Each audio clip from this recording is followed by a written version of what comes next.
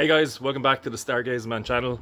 So, short video today. I've just had the chance to try out the Seestar S30 in equatorial mode. So, if you haven't uh, tried this before, highly recommend giving it a go. If you're new to telescopes and smart scopes, etc., um, please check the links in the channel for explanations around what these scopes are and some tutorials. And if you decide to buy one, always please support the channel by using one of the affiliate links. But onto equatorial mode in the Seestar S30 and also in the S50 if you have one. So I have the Seestar set up in the orientation uh, that I used last night. Sorry, just going to give the lens a quick rub here because phone just came out of my pocket. So the first thing that you want to do is when you're setting up on your tripod is to have your tripod leg facing north. So north for me is in this direction.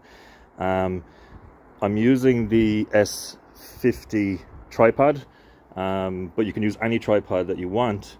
And the reason why it's important to have this leg um, facing north is that it supports the um, center of gravity um, or the weight of the uh, telescope uh, as it leans in this direction.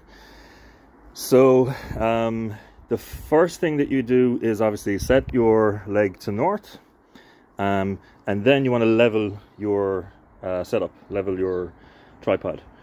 And you can do that by just putting um, a spirit level or bubble level across. Sometimes the tripods have these, that's perfectly fine. Um, I'm using one of these uh, level adjusters. Um, it's from Neewer. You can pick these up uh, on Amazon and uh, lots of different stores. Again, I have a few links in the description if you guys want to pick them up. And I find this really, um, really fast to, uh, to, to level. Um, I also use it with the S30, sorry, the S50, uh, because you have to uh, make sure that that's pretty level before you begin. So anyway, level as best you can.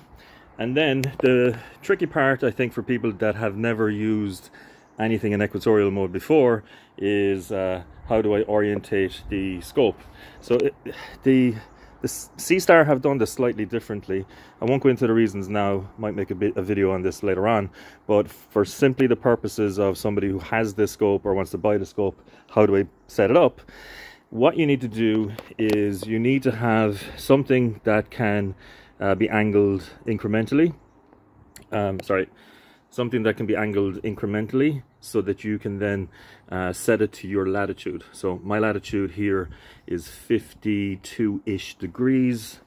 Um, I think there is some markings on this one as well that can kind of show you roughly where it is.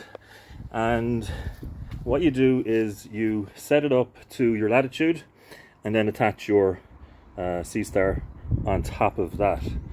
Uh, important orientation uh, note is that the button, and it's pretty simple, right? It's just the button needs to be facing upwards.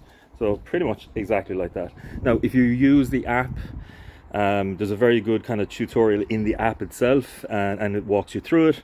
But I just said I'd make a quick video just to show you uh, kind of real world example of the setup. Right, so we have our leg facing north. We have the setup leveled. Um, we have got our angle correct for our latitude and we've got our Seestar at top.